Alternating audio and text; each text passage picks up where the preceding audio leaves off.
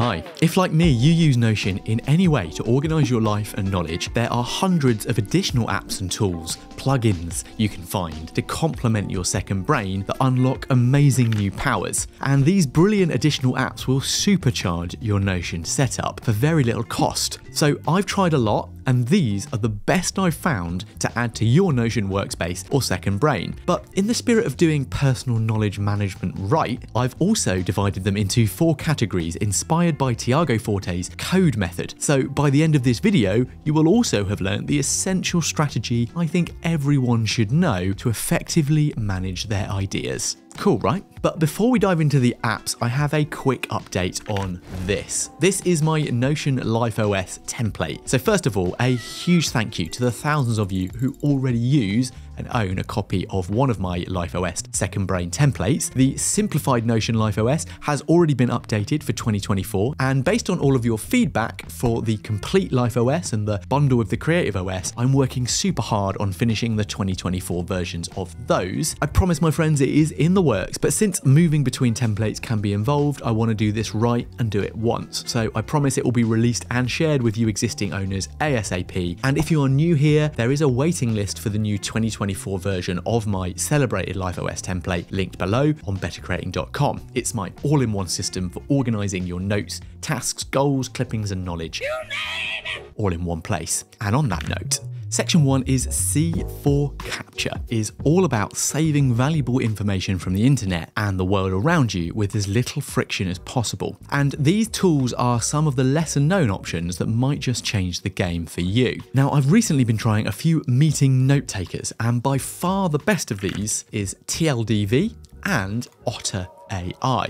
Both have great free plans, particularly TLDV, the best out there, I think, as it also records video, and they both plug into your Zoom, Google Meets, and Microsoft Teams chat to transcribe and AI summarize the conversation. So I discovered TLDV this month working with the Generalist company, who are helping me build out some AI and automation tools to optimize my template business and content management for this channel. I also love that there are options to push timestamp moments directly to Slack, HubSpot, Salesforce, and yes, Notion. Now, by contrast, Otter does require a paid plan for AI summaries, but the cool thing is it offers a phone app for recording and transcribing in person meetings. Great for offline working, particularly. So I love just popping that on the desk when I have an important meeting I might want to remember and it will record it. But there is a hack for that with TLDV. You just need to turn on Zoom, invite your agent into the meeting, and you can just record in person meetings too, which is rather cool. Now, I don't know about you, but I find I spend a lot of time taking screenshots and recordings, sometimes for ideas and inspiration, sometimes for demos and sharing issues. Well, I can't recommend this next app enough. It's CleanShot. This is a simple app that sits in your Mac menu and lets you capture pages as images, do scrolling capture, and my favorite,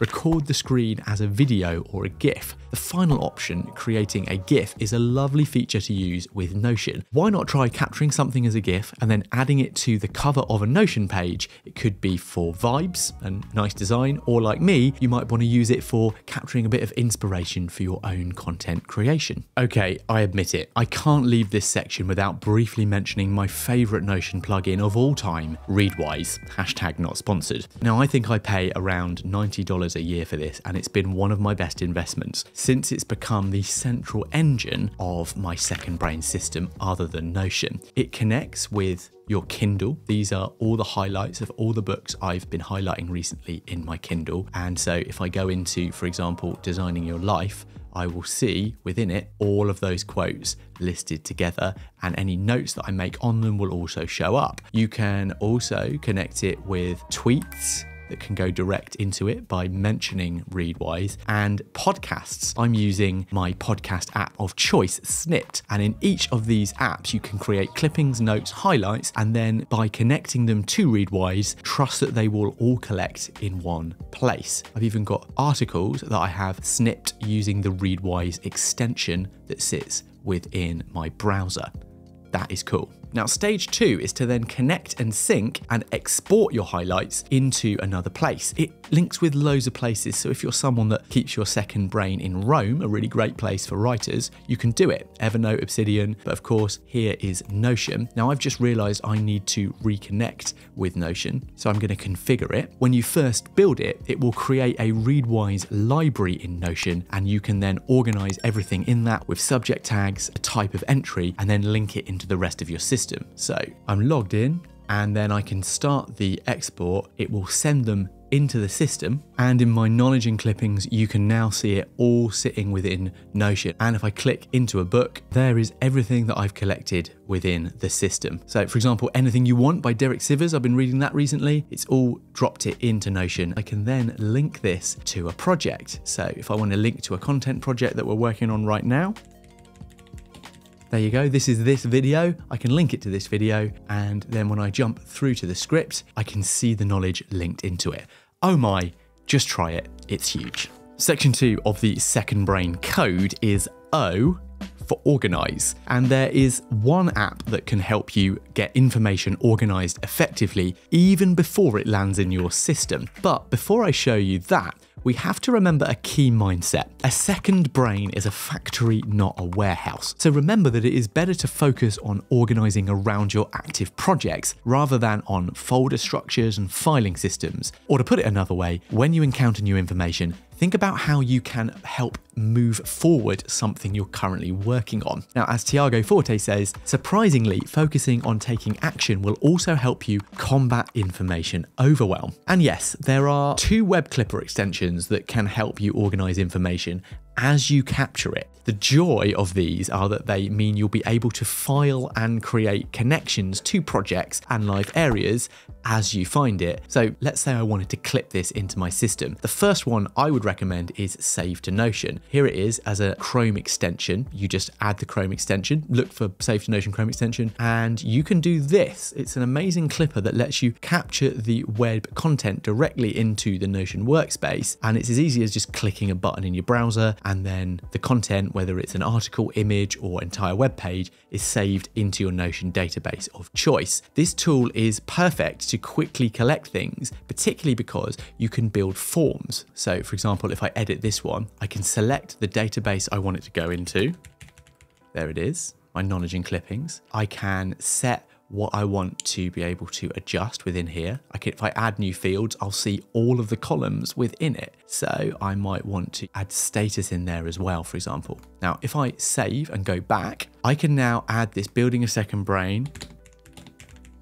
I want to add the entire web page. I don't need to use a template and I'm going to select the status as on reading list. I will now save the page. If I now jump to my Notion page under on reading list, there is the entry and I can open that up and see all of the information that we clipped from it. And of course, this would have been filled in if I wanted to. Now, the superpower of using this is that what you can do is when you add a field, you can add a related project, link to projects that you want to link the material to. And that means in my reading list, I can make sure that I am planning what project it's going to link to, my digital product design. Cool. Now, the second web clipper you should make sure you also keep an eye out for is Thomas Frank's answer to this system called Flylighter. You can get an invite to sign up to this as we speak because it's not out yet. It will work in a number of different browsers, capture links, articles, highlights, and more into Notion. So if you want to see it demoed, jump over to flylighter.com and check it out. D is for distill.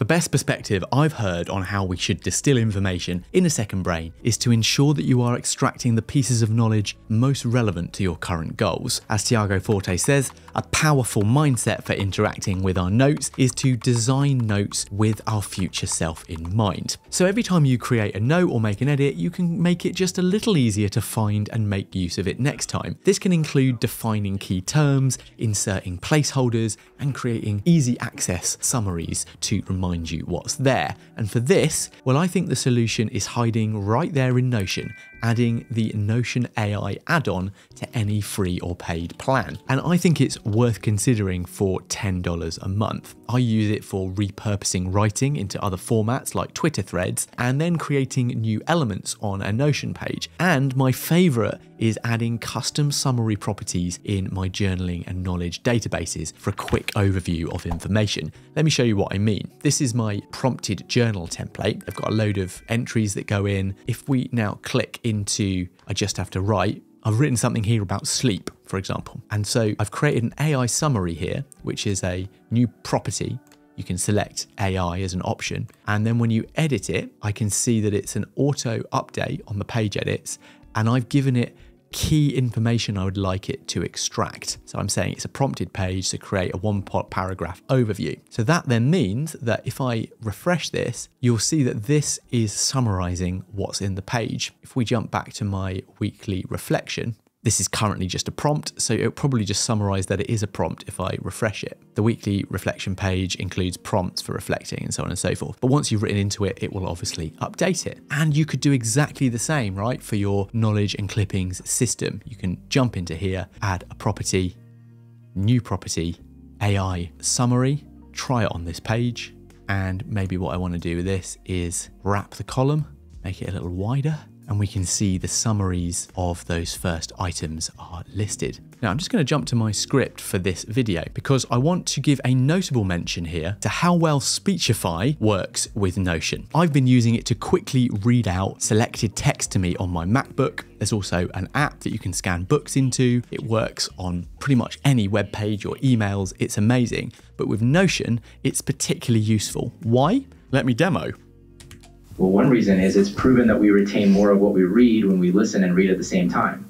Check out my How to Read More video after this if you want to learn more. Speechify is a paid text to speech service with a free trial, but if you value it, it's a great deal, currently at around $135 a year with occasional offers. The final category in our code strategy is E4 Express. The focus here is turning your knowledge into creative output that has an impact on others. For me, this is about thinking about your second brain in a different way to place the emphasis on creating and shipping things, not storing stuff. I guess the important plugin, and I will get to some real apps in a moment, is really you. It just depends on what you want to do with it, right? Some of you might be students writing essays, maybe you're a creator or a business owner like me, maybe you're training for a profession. Let me know what you use your Notion setup or whatever second brain setup you use in the comments. All I can share is what is relevant to me, and these next couple of tools I think are relevant to many people who are creating something online. My favorite Notion plugins have to be super.so. It's a fantastic SEO SEO friendly website builder, which can allow you to use custom domains, fonts, and analytics. It will allow you to format the pages into a designed UI for the viewer directly from Notion. So for easy and fast website updates, this could be amazing for many people. And the second one is Q for Notion. It's an X stroke Twitter plugin that allows you to create and schedule tweets in a Notion database and publish them directly to Notion. It works for 10 tweets a month and two threads for the free plan. You can connect it to any database and then set a database property as the scheduling date. Pretty cool. And three, if you are getting serious about no code automation, definitely check out Zapier or Make to embrace automations and connections between Notion and hundreds of other productivity apps. So, so far we found a bunch of amazing tools that add new functionality to Notion. But if you truly want to make the most of Notion as a simple to use and powerful life organization system, I definitely would encourage you to come over to bettercreating.com to check out some of my free and larger Notion templates. And of course, you can sign up to that LifeOS 2024 waiting list at forward slash LifeOS. And you should watch this video next for the full tour of how I've simplified the Notion second brain in my simplified LifeOS setup and discover more great ideas and tech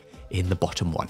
It would be great if you subscribed if you haven't. Amazing if you drop me a thumbs up, and I'll see you on the next one. Bye.